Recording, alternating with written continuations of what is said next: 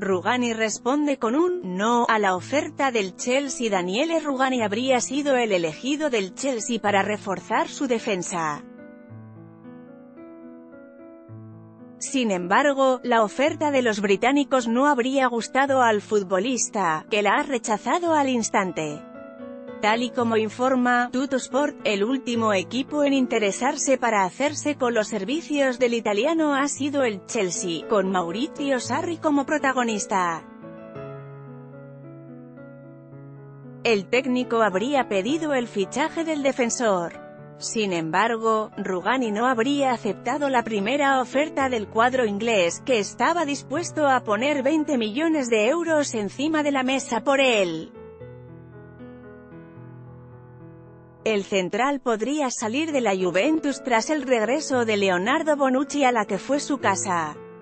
Con él y con el joven zaguero perdería mucho más protagonismo del que tuvo la temporada pasada en el equipo bianconero. El Real Madrid podría ser otra opción para él.